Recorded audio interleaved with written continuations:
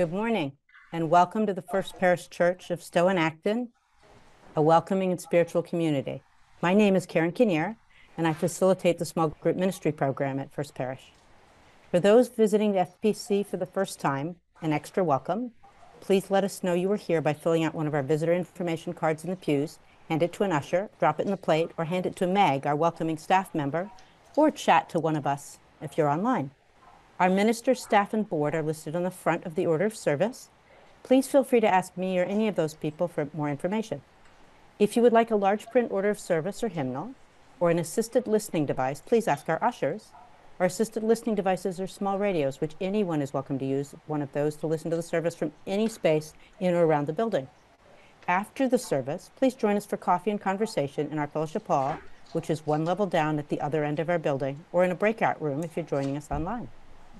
I would like to draw your attention to the announcements in your order of service and also invite you to check out our webpage where you can find more information or sign up for our newsletter and email alerts. So for specific details, see your order of service. The family, the Valentine's Day family dance is going to be Saturday, January 20th from 1 to 3. Children are invited to bring their favorite adults for dancing, a card craft, and a treat. The new Revival Coffee House Mike and Ruthy of the Mammals are back. There's a concert next Saturday, January 20th. So today's coffee hour is your last chance to buy tickets without an extra fee. Also see Johanna's email to sign up to bring desserts. So we have a very special Vesper service this month. We're going to have dinner at church. It's at FPC and it's co-hosted with the UC Marlboro Hudson. It's Friday, January 26th from 6 to 8 p.m. Please RSVP so we know how much food to make. So small group ministry registration for 2024 has been extended to next Sunday, um, January 21st. Small group ministry offers the opportunity to join a group of 8 to 10 people who meet for two hours monthly for one year. That's 24 hours a year, not a big time commitment. We have facilitated discussions on topics chosen to increase our awareness of ourselves and connections to each other.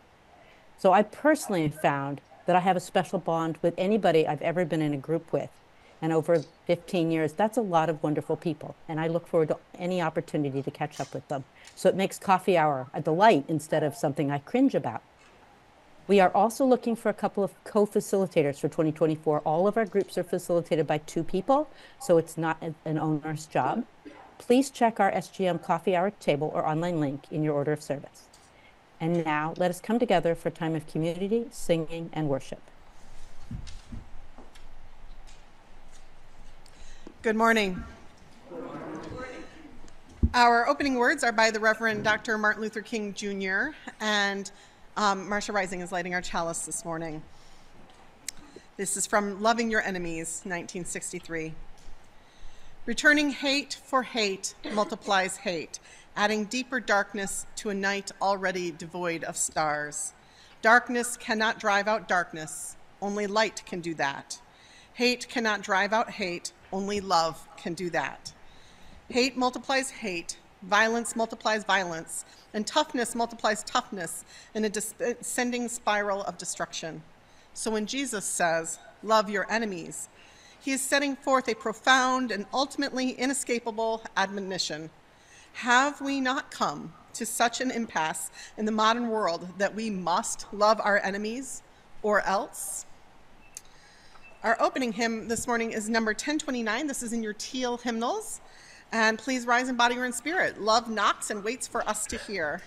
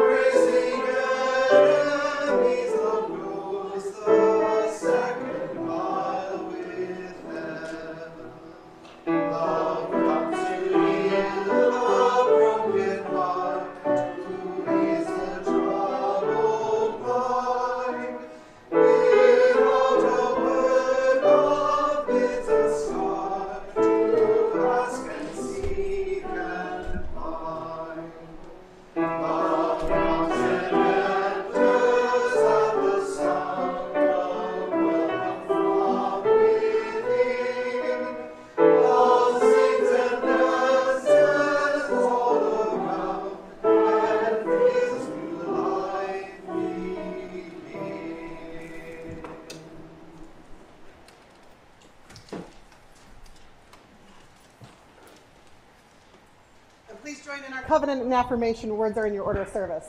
Love is the spirit of this church, and service its law. This is our great covenant to dwell together in peace, to seek the truth in love, and to help one another.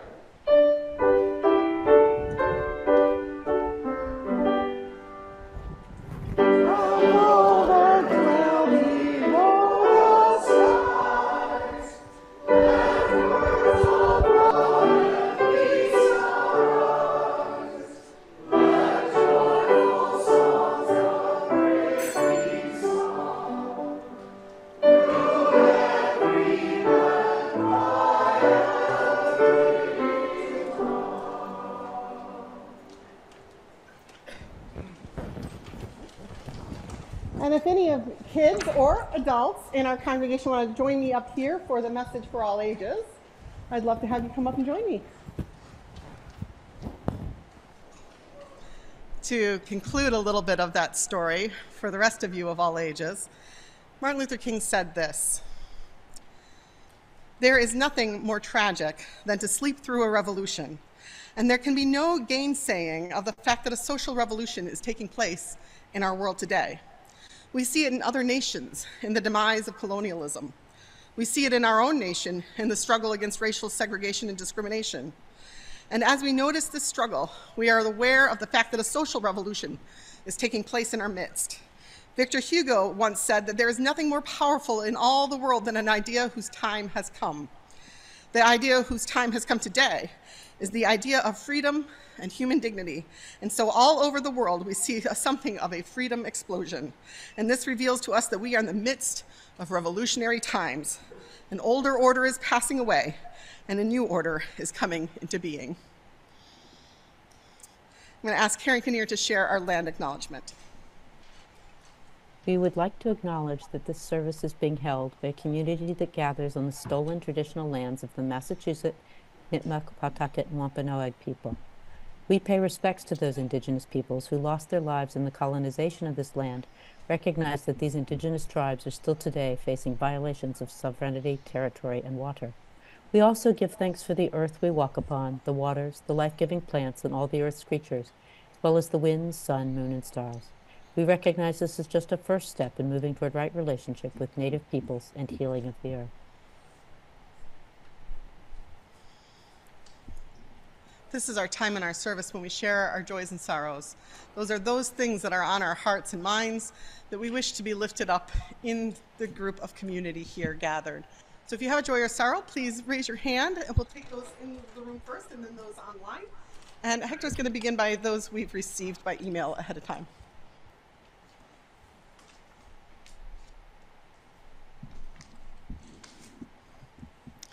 For those joys and sorrows that are present in our hearts but are left unspoken, we light one additional candle that they too are shared in loving community. Our words for prayer or meditation today come from the Reverend Dr. Martin Luther King Jr., and so that means that they come from a Christian context, and I hope that those of us who are not Christian and maybe not even theist like myself um, can translate into your own words. O oh God, our gracious Heavenly Father, we thank Thee for the creative insights in the universe. We thank Thee for the lives of great saints and prophets in the past who have revealed to us that we can stand up amid the problems and difficulties and trials of life and not give in. We thank Thee for our foreparents who've given us something in the midst of the darkness of exploitation and oppression to keep going. And grant that we will go on with the proper faith and proper determination of will so that we will be able to make a creative contribution to this world and in our lives. In the name and spirit of Jesus, we pray. Amen.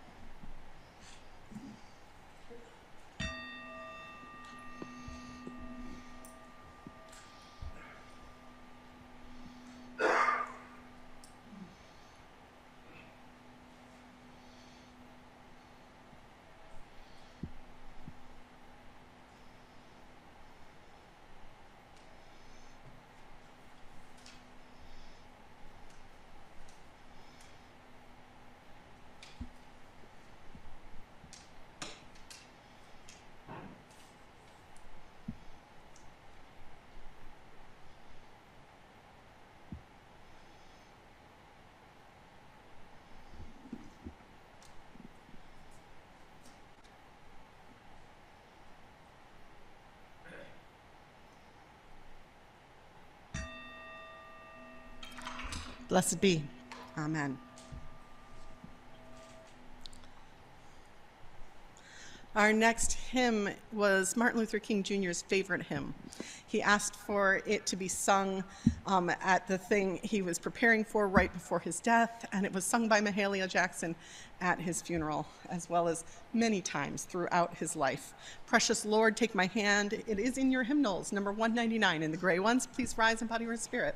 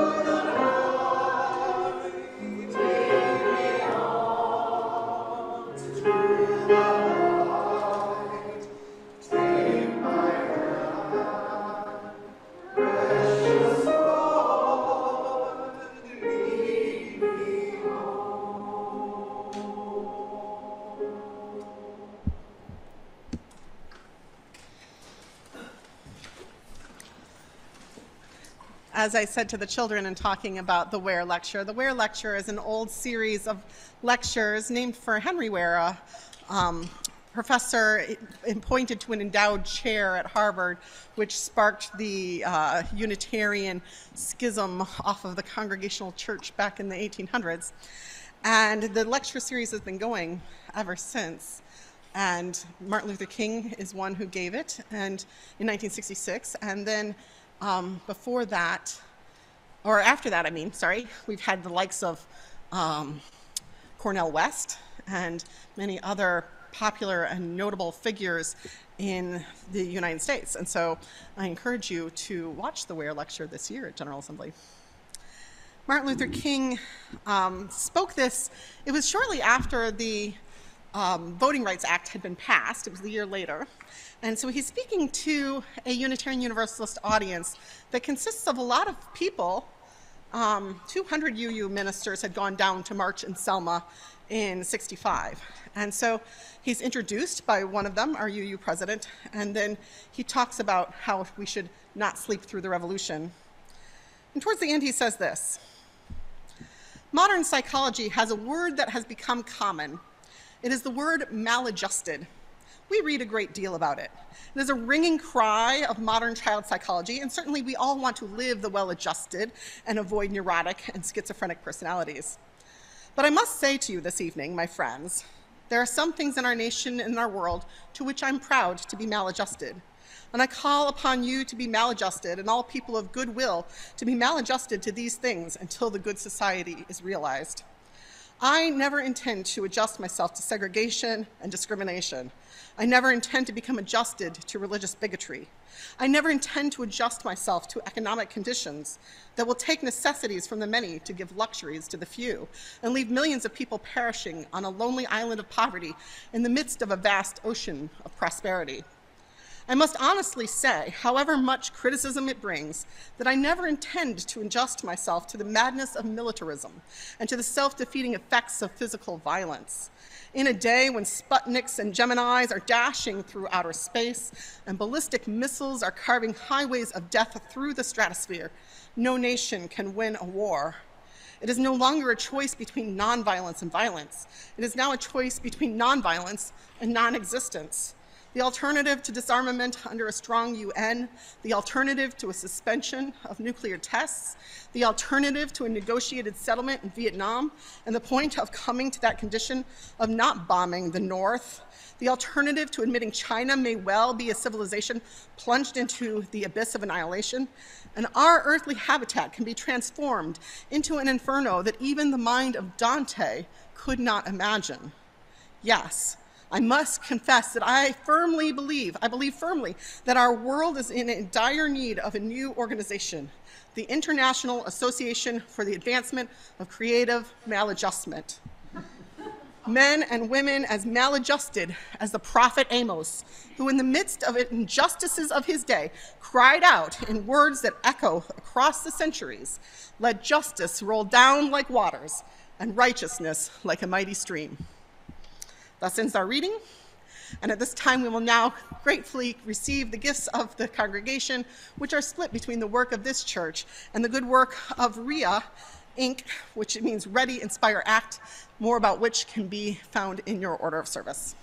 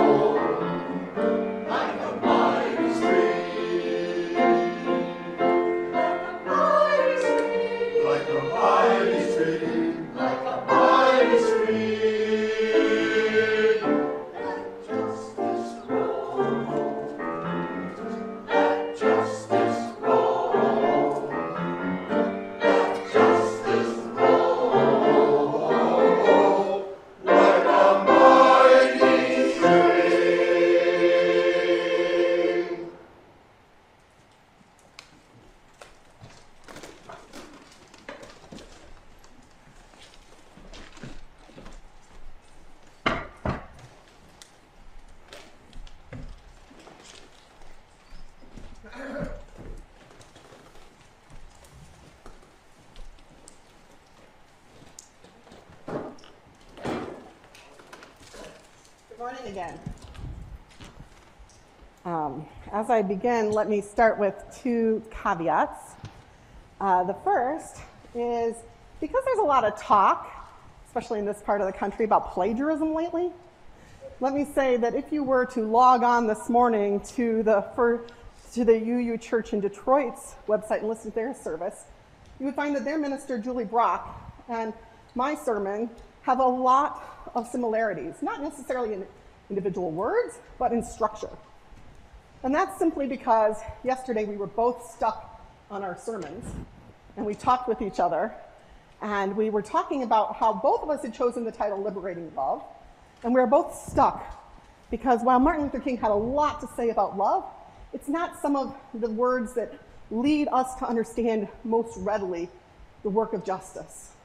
And so we were stuck in this pattern of like, what do we say about liberating love? And we talked through our sermons together and basically created a, a structure for our sermons that are the same, roughly speaking, or at least the first part of which are the same for what we're preaching today. So that's, it's not plagiarism, it's collaboration. Secondly, there's been a sort of debate in Unitarian Universalist circles lately about whether or not it's the right thing for UU churches, particularly churches that are largely white and in the suburbs, to have a Martin Luther King Day service. Is it paying lip service?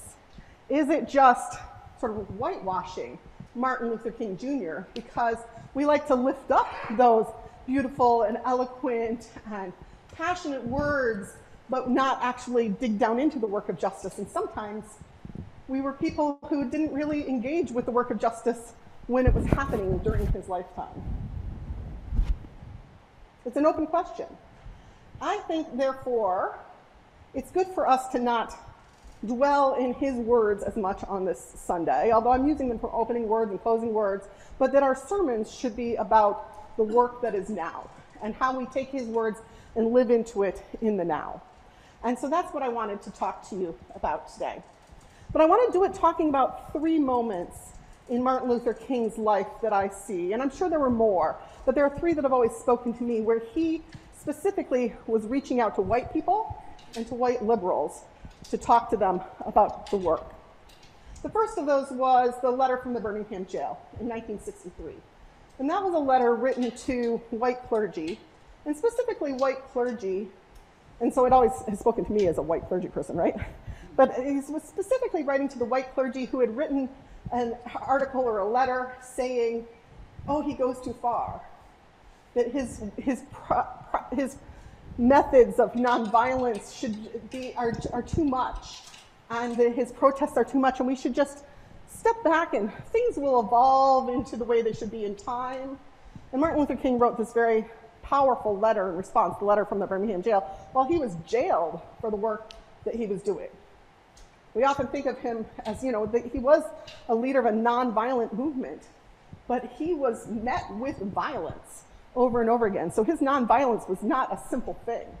It was a difficult and hard-felt path that he encouraged us to pursue, this path of nonviolence. And he was beaten for it, he was jailed for it, ultimately he was killed for it. The second moment where I see him reaching out to white liberals, and specifically to Unitarian Universalists, is when we had the March on Selma. So in 1965, Jimmy Lee Jackson is killed in the work of voter rights registration in the Selma area. He's actually killed in Marion, Alabama.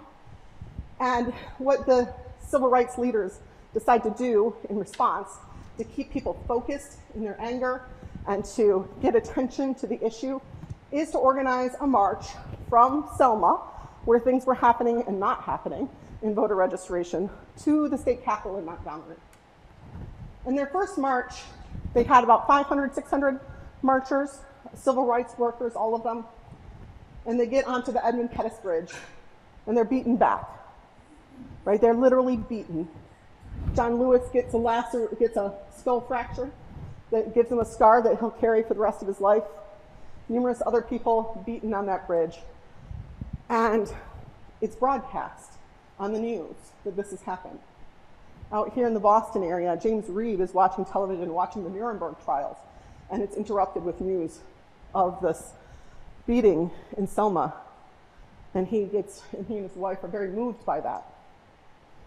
The next day, Martin Luther King puts out the call asking white people, come down.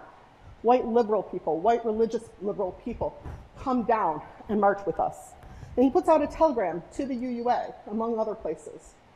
And the UUA, Homer Jack, receives that telegram and he starts making calls, calling the UU ministers who he thinks can pick up and go. About 40 of them do, including James Reeb from there in Boston, who was working at that time for the American Friends Service Committee in Roxbury. And they go down and join the second march, which was two days later, on what would be called Turnaround Tuesday, because they get bridge, met the police and everything. They say you don't have permits to march. I believe Martin Luther King kneels and prays, and or anyway prays, and then they turn around and go back. Turn around Tuesday. That night, after dining in a restaurant that was one of the only places that black and white people could eat together, James Reeb is beaten and eventually dies from those wounds. And his death becomes a galvanizing force for more people to flock down to Selma. About the, the second march, the first march was five to 600. Second march is like 1,500 to 2,000. Third march is like 6,000 or something. People who come down to march in Selma. And I think that's probably the point at which one of our members, asked about, went down. Because that's the point at which the UUA board um, cancels the rest of their meeting or tables it, and they all flock down. The word goes out to all the churches over in Atlanta the minister there says, everybody go, and if you can't go, send blankets. You know, numerous ministers from my home state of Michigan go down. I'm sure dozens from here in Boston area go down. And 6,000 people march to, and this time make it all the way over a five day march to Montgomery. And on the ferrying people back from Montgomery to Selma, Unitarian Universalist Viola Liuzzo is shot and murdered, a layperson from Detroit. Her death is not well covered, and in fact, she's even blasted and um, horrible things are said about her in the press. Um, but James Reeb's death becomes this galvanizing force. Martin Luther King preaches his eulogy a few days between between the two March three and two and three, and the president himself takes notice at the death of James Reeb and mentions James Reeb in his speech when he passes a few months later the Voting Rights Act. So that's the second moment where I think white liberals are specifically reached out to to join civil rights. But then a year later, 1966, Martin Luther King comes to the UUA General Assembly. And he knows when he's talking to the people that he's talking to a lot of people who did join with him in Selma. You know, the president of the UUA who gives the introduction, he was there in Selma. Numerous other people in the audience were there in Selma. But he's not there to say thanks at the General Assembly, say, job well done, we passed the Civil Rights, the Voting Rights Act, and we're, we can, we're free and clear. No, He's telling us to stay awake through the revolution. The revolution has not yet come. And he's talking about, he talks about four things in specific in that speech that we need to do to stay awake through the revolution. The first is that we need to have a global attitude. We need to have a worldview about this revolution to come. We need to not just be looking in the here and the local, we need to be looking at the entire world. The second and third are about civil rights in particular, that we need to acknowledge that the civil rights work isn't done and that it exists and that black and white people should be equal. And then the fourth point he makes is, let me remember, um, that, oh, my brain. So because that's where I wanted to focus all my thoughts, of course, was on, on that fourth point that I almost can't remember. There are two myths. I'm going to come back to the fourth point. Two myths we have to avoid before we can do the work. One is we have to avoid the, the myth that legislation doesn't matter, and the idea that all that matters is changing people's hearts and changing people's minds. and that it doesn't really matter politics and legislation. Martin Luther King is very specific about it. He's this the work of the revolution isn't just changing our minds, the work is getting out there in the trenches. The work is getting out there and doing the work of justice, not just working on ourselves and working on our conversations with our neighbors and our cousins and our parents and our kids. The work is getting out there and changing the legislation because that will make a difference. The Voting Rights Act is already making a difference when just changing hearts couldn't. The second myth that we need to overcome is that the myth that we have basically achieved it all. Because the Voting Rights Act had passed, right? And the work is done. And this is the myth I think that we as Unitarian Universalists today need to still listen to Martin Luther King about and not think, oh, the work is done. And all we need to do is just change our hearts. Because the answer is we need to change the world. We need to keep that global view. And if anything is still true, and even more true than it was in King's day, it's that global view is necessary, right? He was talking before the internet, or before the very beginnings of the internet were starting. And he was talking before we had cell phones in our pockets, but in which we could, if I had pockets, which we could use to Google his words and Google what's happening over here and there, know what the weather is like across the United States and across the world. We have this technology now that links us to the entire world at a time. We can look up the weather in the Ukraine. We can look up the death toll in Gaza and we need to keep that global view. So, I'm going to go look up that fourth point, because that's where I want to go from here.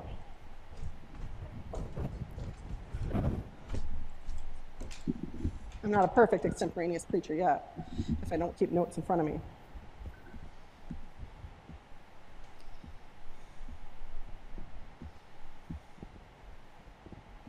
Scrolling down.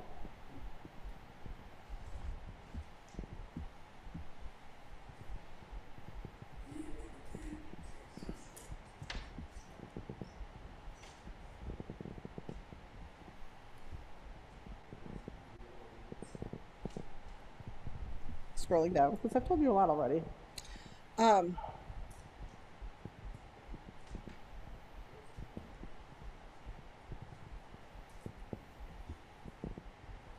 ah, so here's the bit about love, and this is the part I need to quote. He said this about love and hope.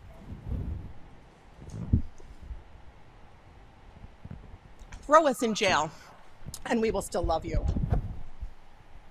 Double night threaten our children, bomb our homes, send your hooded, hooded, perpetrators of violence into our communities at midnight hours, and drag us out on some wayside road and beat us and leave us half dead.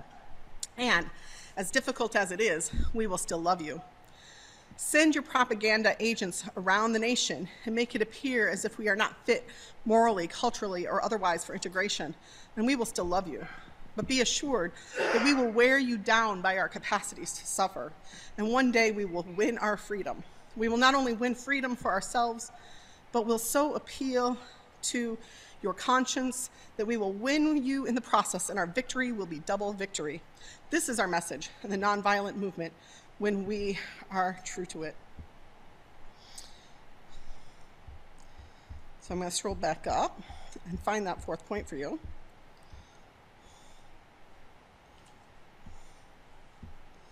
First, we need to cha- be challenged inside ourselves with the world perspective. Second, it's necessary for the church to reaffirm over and over again the essential immorality of racial segregation.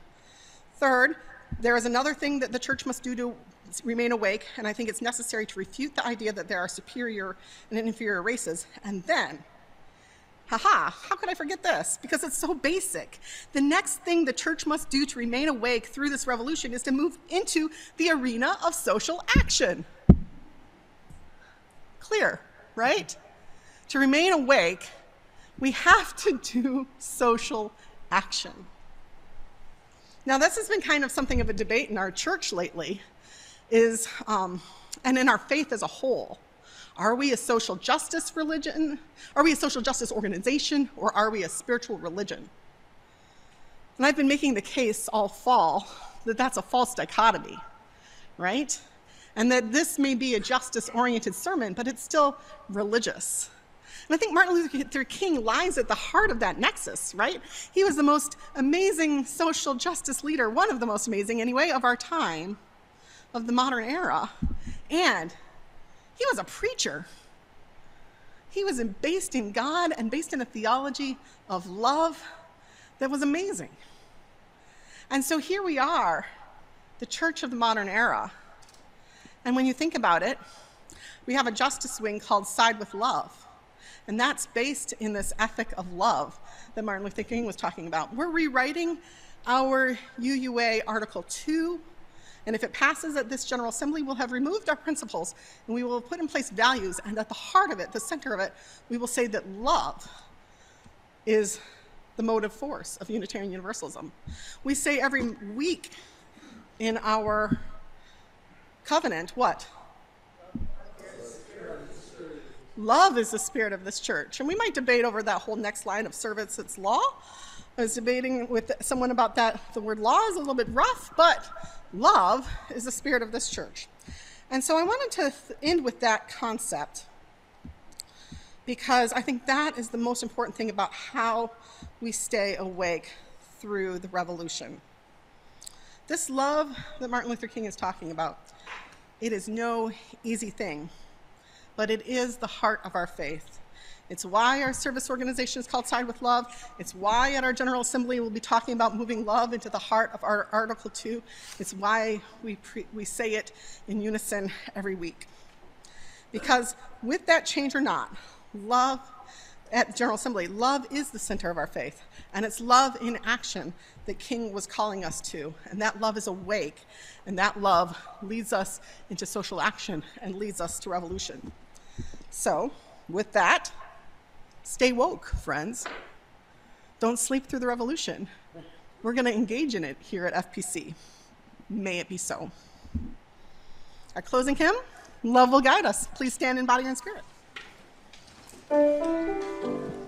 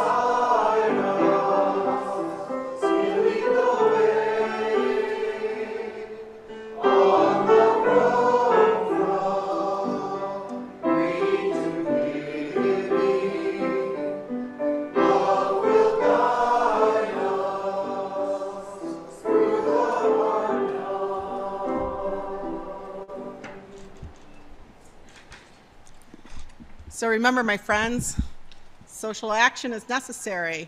Keep a world perspective. Avoid the myths of that we're already there and that we only need to change our hearts and minds. And remember, racism is still very real.